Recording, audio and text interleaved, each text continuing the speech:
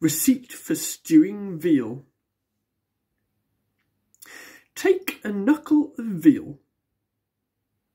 You may buy it or steal. In a few pieces cut it, in a stewing pan put it. Salt, pepper, and mace must season this knuckle. Then, what's joined to a place with other herbs muckle that which killed King Will, and what never stands still. Some sprigs of that bed where children are bred, which much you will mend if both spinach and endive, and lettuce and beet, with marigold meat. Put no water at all, for it maketh things small which, lest it should happen, a close cover clap on.